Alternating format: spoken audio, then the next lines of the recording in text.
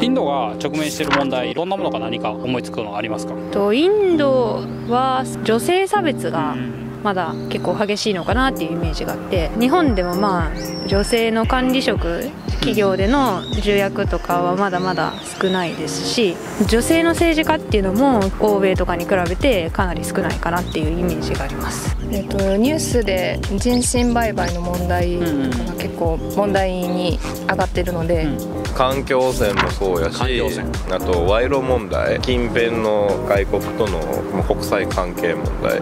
賄賂問題はどういうふうに知ります日本に住んでるインド人のコーラもいてるんで君の国ってどういうこと起こってんの？って聞いた時に大体の大統領賄賂で汚職でなんか辞めてるみたいな。想像もつかんような。ような額の賄賂がそういう政治の中でも起こってるっていうのが。聞きますね。ありがとうございます。ニュースで目にするのはこう貧富の差とか、うん、その土地によっても貧困の差があったりするのとかあと女性の問題男尊女卑的な感じでそうですね。日本では男尊女卑あると思いますか？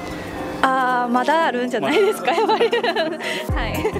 まあ人口が増えすぎてまあね、食料問題とかなんかお金の問題とかがいろいろありそうだなっていうのとあと優秀な人多いんであのアメリカに優秀なエンジニアとか IT 人材が流れ込んじゃってるっていう部分が日本もそうですけどね世界もどこもそうだと思うんですけど特にというかインドで起きてるんじゃないかなって。インド映画を見たんですけど若い人たちが学歴至上至上学歴至上主義でものがその学歴至上主義ですごい勉強頑張らなあかんとかそのプレッシャーに押しつぶされて例えば自殺とかあのあるんじゃないかなって思いました。まあ、昔はそうだったんですけど今はちょっと自由になってきつつあるんじゃないかなって肌感思いますインドでは経済成長すごいので、まあ、そのうち日本抜くとか米国抜くとか言われてますけど経済大国としてインドに何か期待することはありますか？インドって結構 IT が最近進んでるっていうイメージがあるので日本のそのロボット技術とかそういうところで一緒に技術の革新進めていけたらいいんじゃないかなって思います。地震が多いので日本が、はい、地震をなんかどうにかして起きないようにするテクノロジーを開発してほしいなんか察知したりまあ、そういう回避したり。これからのインドに期待することとかあります？安価で、はい品質のいい製造 IT 先導していってもらいたいやっぱもうパワフルですごいこうストイックで自分の意思を持ってる人とかが多いんでそれで経済も伸びそうやし、まあ、そういう人たちとに日本も仲良くなったらいいのになって思います。まあ、コロナが終わったら私もインドに行ってみたいですしインドの人も日本来てもらって旅行とかしてもらってでその時にすらおもてなししてしたいなってそうだったら仲良くなるんじゃないかなとは思います。やっぱりいや夢や希望を持って頑張ってほしいですね。夢や希望を持って頑張ってほしい、はい、これからも夢や希望を忘れずに忘れずにそのまま、ね、伸びていってほしい。そうですね。ありがとうございます、うん、ネガティブなニュース多いですけど、うん知恵を振り絞って世界の人に役立つようななんかいいものを作ってもらったらと思います。そうですね。えっと、次に、えっと、インドと諸外国の関係知ってるのもありますか？なんかインド洋に中国の船がなんか来てるイメージがあって、はい、なんかあんまり仲良くなさそうやなって。インド中国ですね。って思います、はい、中国とかパキスタンとかそこら辺は軍事衝突とかしてるのはニュースで見ました、まあ、知ってるのはまず1個はパキスタン。パキスタン。もうそれはずっと。ずっと。で、まあ、あと中国とも。あそうですね。そのパキスタンの方はもともとパキスタンが一緒の国やった。でそれ独立したからがどんなんでなんかあんまり仲良くないみたいな。でもなんか前ニュースで見たのはパキスタンとインドの国交で結構こう緊迫してるる状況がずっと続いてたけどなんか祝日かなんかおめでたい日になってパキスタンとインドの兵士が2人なんか一緒に遊ん遊んだみたいなすごいなあそういうこともあるんやな。ただ喧嘩してるだけではない。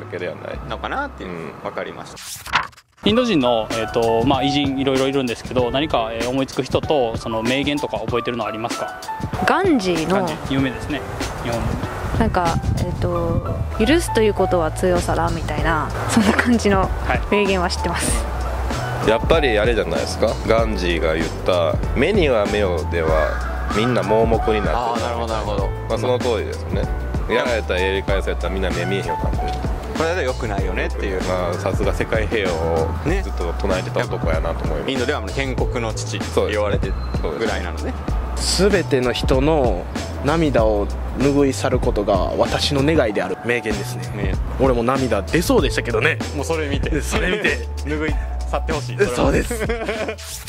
インドと日本国民性とか文化いろいろ違ったり同じとこあったりすると思うんですけど、えっと、何か違いって思いつくものありますか？インドでは結構ふくよかな女性がモテるって聞いてそこはなんか日本はスリムなはい女性がなんか良いしとされてるんで、そこに違いはあるかなって思います、いや多分時間の感覚が一番違うんちゃう時間のかな感覚。日本で地下鉄待ってて2分遅れるだけでもうこうなるわけよそうですねみんな。おいおいおい。な。